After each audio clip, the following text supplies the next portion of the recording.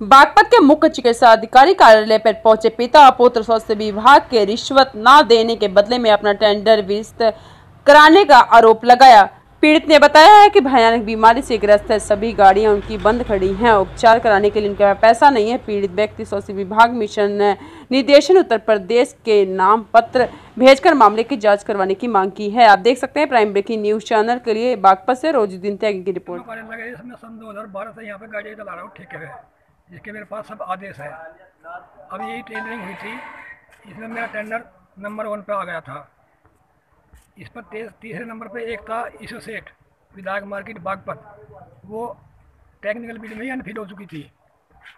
अब इन्होंने मेरा टेंडर निरस्त कर दिया सी एम मेरे इसको तो नहीं दिया था क्या? जब मैंने इतना उतना उत्पीड़न किया। अब मैं अपनी बीमारी का इलाज नहीं करा करा सका जिसके कारण मुझे आज गंभीर कैंसर से मतलब गुजरना पड़ रहा है। कैंसर की बीमारी से इन्होंने मेरा इतना उत्पीड़न किया बहुत ज़्यादा।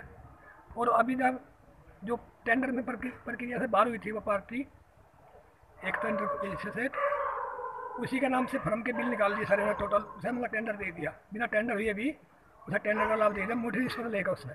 ये मेरे पिताजी यहाँ पे सिंटेप्राइम नाम से हमारी फर्म है तो इन्होंने टेंडर डाला था यहाँ पे।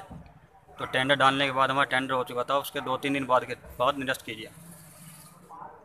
उसके बाद फिर हमने एप्लीकेशन भी डी डीएम के यहाँ पे दिए सीएमओ के यहाँ पे दी, इसकी जाँच की जाए। उसके बाद कोई कार्रवाई नहीं हो पाई। मैंने इनको बुलाया कि बात कर लेती हूँ। मैं तो जानती भी नहीं थी कौन है, क्योंकि पिछले वाले सी एम ओ के किए हुए टेंडर्स थे। मैंने बात करने को बुलाया तो ये लोग बिल्कुल बात करने नहीं आए। कई बार कहा। एम से पूछा तो पता चला कि ये गाड़ियाँ ढंग से देता नहीं। जिसकी वजह से हमारी जो स्कूल टीम्स हैं, वो जाती ही नहीं है, जबकि हमारे साल भर में जितने भी स्कूल हैं, सबको कवर करना है टीम एक, दो टीमों को इस, इसकी सर्विस ना अच्छी होने की वजह से सारे एमएस ने लिख के दिए, जहाँ जहाँ इनकी गाड़ियाँ चल रही थी, जैसे इस ब्लॉक में उन्होंने लिख के दी कि इसकी सर्विस अच्छी नहीं है और गाड़ियाँ बीच बीच में नहीं आती। मैं खुद भी गई, एक दो जगह देखने तो एक गाड़ी में दो टीम भरी हुई थी, आठ लोग एक ही टीम में थे। पूछा कि क्यों नहीं, एक गाड़ी में दो लोग कैसे हो, दो टीमें कैसे मतलब एक टीम को एक गाड़ी होनी चाहिए।